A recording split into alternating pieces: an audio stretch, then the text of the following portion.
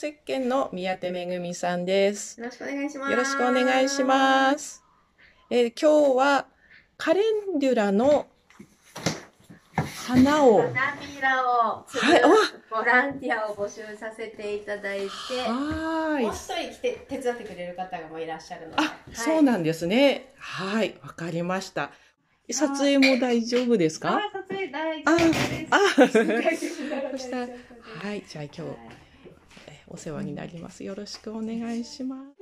されてたんですね。いや私その時あ議員さんだななんだなって知ってて、あやめたんだって。やめ今日はこのカレンデュラのお花の花びらを蒸して、えーこのようにするというお手伝いをします。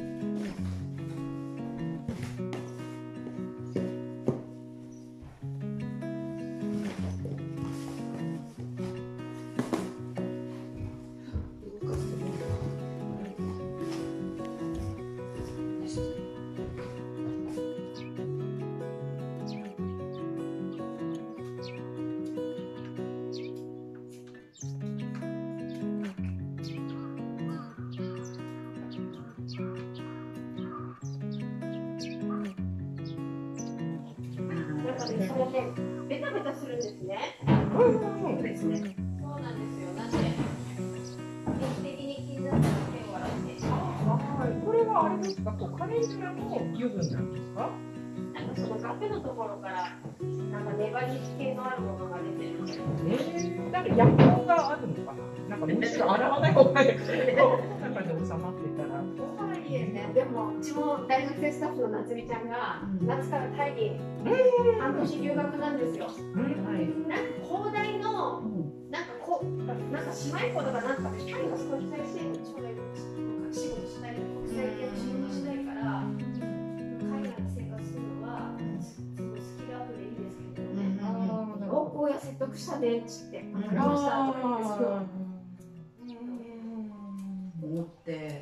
れであのその前に息子が幼稚園の時に公立幼稚園幼稚園の全廃問題の時に共同代表になったことあったんですよね、そんなの聞いてないのに勝手に自分たちの結局だからって言って進めないでくださいって言って署名活動して。はいはいはい。でそれをやったっていうのが社会に対する関心を持つことになってそれから早十数年経ってあらで新聞見たら今回の選挙女性って言ったってもう終わってる人じゃんって。人だらけしてる人じゃん。ああ、なるほどね。やっぱりそう困りごとをね、こうんう発信するっていうのはやっぱりそこの当事者じゃないと。うん。そしてその不便さを勝ち取っていかなきゃなならないですね、きっとね。その大変。だからそのなんとかその、そういう世の中なんだっていうところをね、そこそういう人でもやっぱり議員になりやすいっていうこう世の中になっていかないと、うん、それだからできないとか。うん。大変だった選挙期間中も2歳だった末子が、あの RS ウイルスにかかって入院になって、そこからお姑さんに見てもらいながらあの選挙カーに乗って病院行った後に戻ってきて選挙カーに乗り換えて、ーそれで選挙戦初めて戦ってで私知らなくって、うん。あの後ろ盾がなくても選挙って立てるもんだと思ってそして初めての人初めて立ちますって言って知り合いに挨拶に行ったらうん「どこがついてくれるの?」って言われたの。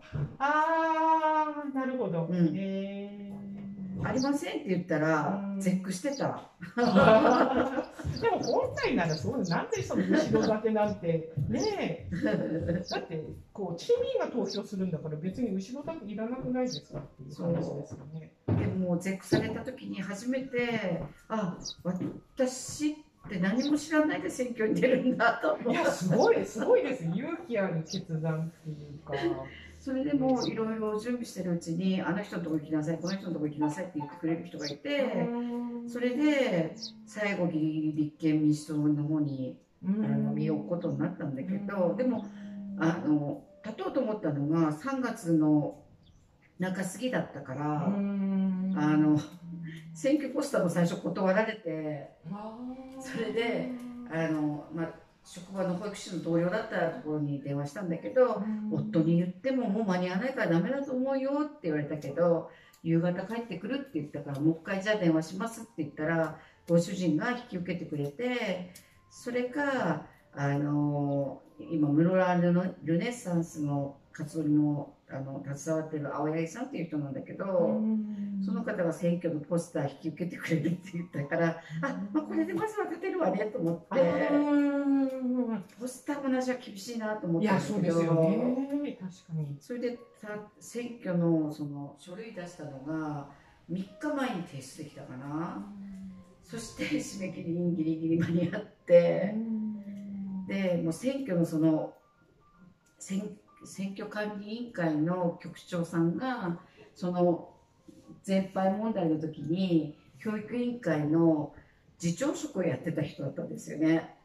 でいや気まずい気まずい気まずいとか思って恥ずかしいとか思ったんだけど正直に悩んでるんですってあの書類はもらいに来たけど出すか出さないかは分かりませんって言ってその書類を受け取ったんだけどその方が私のことを嫌って憎んでるかなと思ったらそうじゃなくってじっくり考えて決めなさいって言ってくれたの。それもちょっと勇気をもらってすごいでなんとか滑り込みで食べたんですよね。いやすごいですね。すっごいなんか。ドラマみたいなスピード。ほ本当ですね。いやでもいやまあそういう人を待ってたっていう部分もあるのかもしれないです。うん。ちょっと閉選挙自体に閉塞感っていうのを感じてて、やっぱりこう大急ぎでもうそういう人こそ立てなきゃっていう、なんかこう機運みたいなのは実はこうねちあのああったのかもしれない。マグマでちょっと溜まってたのかもしれない、うんうんうん、なんかちょ他の選択肢ないのっていうのは選挙ってありますからね。ねこの人はこう入れたくないっていうのはあるけど、この人入れたいっていうのがないっていう。仕方がないからじゃあ比較的マシな方にねなっちゃうから。